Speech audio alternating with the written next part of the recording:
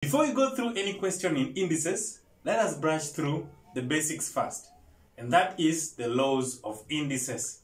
Now, here are sample laws of indices that each and every student needs to master. m power a times m power b. Remember, all these are the bases. If the bases are common and the powers are totally different, there's a multiplication sign in between. It's just the same as taking one, the base and then you're adding the powers. And if you have m as a number raised to power a, then in bracket there is another power. It's just like saying now the powers will multiply each other at this point. And therefore m to power a in bracket raised to power x is the same as m raised to power a times x. Now, any number raised to a negative power is the same as what now? 1 over the number raised to the power. So m raised to negative a is equivalent to 1 over m raised to a. Now, the next part is m raised to b all over a. Is the same as now. A root of m all of whatever is hidden here is this. M raised to 1 all over a. Is the same as now. The a root of m. Then there's a multiplication of b there. And that is what makes it still stick there. And that is what this law is for. Then we move to the next law. M all over n all of it in bracket raised to power a is the same as m raised to power a all over n raised to the same power a. Then also this law. M raised to power a divided by m raised to power b is the same as now taking the same base but now you're finding the difference between the powers and that should be a minus b. And finally m raised to power 0 should be equal to 1 any number raised to power 0 is equal to 1 then the last part is if you have m raised to power a is equal to m raised to power b. Therefore, it qualifies to say that these two powers are equivalent. And that is why I'm writing here a should therefore be equal to b. Now, there's the part that I never mentioned, and this is the part that I skipped. Many students tend to confuse that m to power a plus or minus m to power b can also be represented in this format and this format. There is no law that govern addition of indices. That law does not exist. It's just a formula that you need to come up with to be able to solve questions that add indices. I'll show you an example. Let's take an example question. So here is a question on indices and I'd like us to go through on how to solve it step by step. Now we have 1 all over 27 power m times 81 power negative 1 is equal to 243. The question is solve for m. Now what will be the value of m at this point?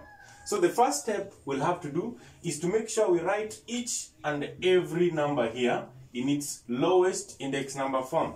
Now remember 27 is the same as 3 raised to power 3. 81 will be 3 raised to power 4.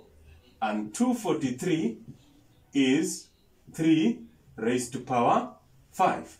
So let's plug in all these indices where they are supposed to be. So I'll have 1 all over 3 raised to power 3 in bracket raised to power m times 3 raised to power 4 remember this is 81 raised to power negative 1 to be equivalent to 3 raised to power 5.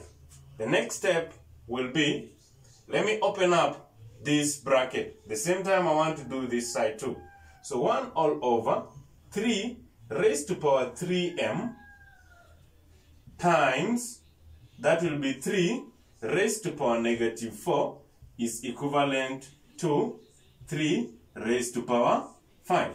Now remember, there is a law of indices that state that if we have m raised to power negative a, this is the same as 1 all over m raised to power a. This law is what we are going to apply here. Therefore, it is okay for me to say that this 1 all over 3 raised to power 3m is the same as 3 raised to power 3m all of it times negative 1. When the power is negative, therefore you'll have a fraction raised to the power in positive form.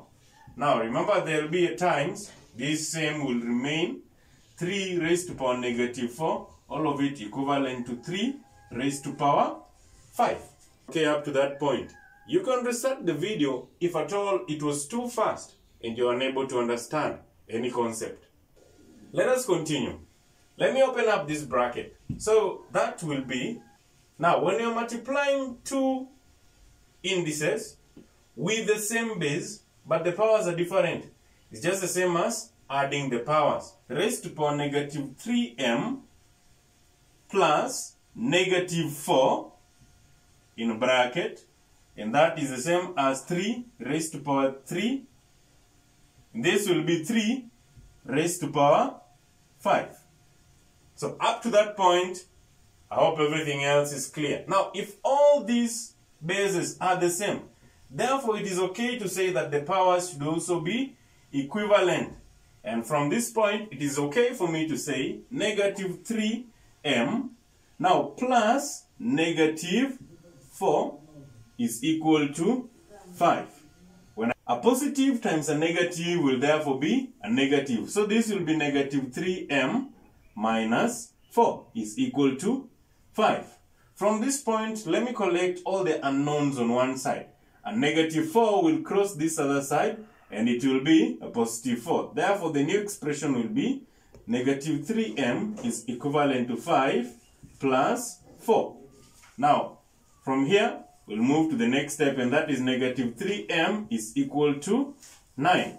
Now, at this stage, we can get the value of m by dividing across by negative 3.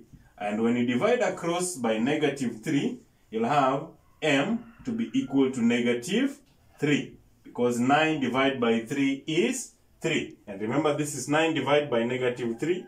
Therefore, the solution there should be 3. I hope you enjoyed the video and I wish to see you again next time. Don't forget to subscribe.